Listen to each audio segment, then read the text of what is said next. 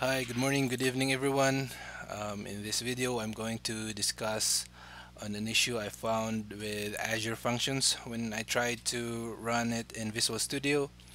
Um, if you can see here, if I hit run here, it the Visual Studio always tries to re-download the Azure Functions CLI tools. So to mitigate that, um, we need to first remove this Azure Function Tools here because I believe the tools here are corrupted the Azure Function Tools and we'll try to create a new one so that it will re-download. Um, I will just create a, a sample app here. Uh, I'll just name this XXX so there's already an XXX what's inside here uh, so something like that. Hey where is it? Alright.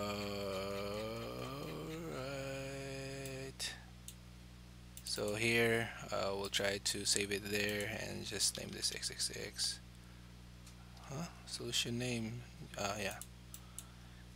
I just name it like that because it's just temporary. It's for the Visual Studio to re-download those Azure function tools back into your Windows Studio uh, stu um, Windows operating system.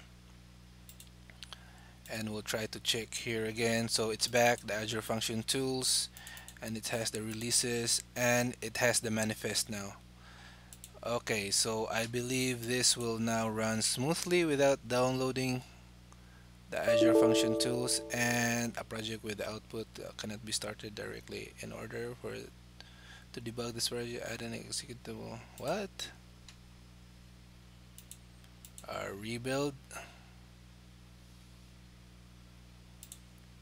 And then run it again. Why is it a class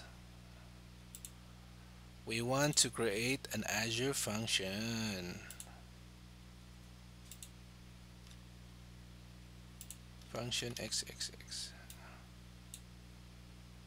okay and then we're going to use the storage emulator. Azure storage account Azure function. This uh, yeah this one and then this one and recreate it again. And uh, rebuild that.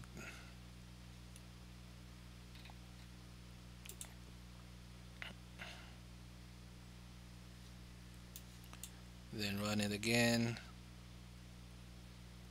Okay it's back and yep it doesn't so okay so there's the URL